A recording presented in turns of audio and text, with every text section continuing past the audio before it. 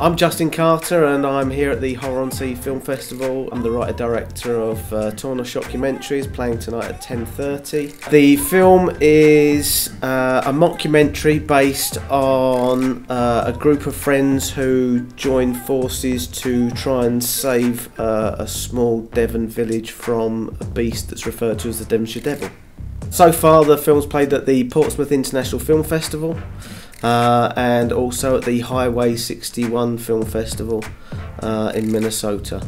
And so this is our third festival. The festival screenings are very important to independent films like Torn because it means that we get an audience and people get to see the, the film and you know it, it starts to generate word of mouth for, for us and um, uh, because especially with something like Torn which didn't cost any money to produce you know we, we've got a, produce a, a, a, fan base and, and, get the word out there that we sort of exist because we don't have the money for uh, marketing and promotion. So it's, it's, very important to us that that we uh, get ourselves out there and get recognised.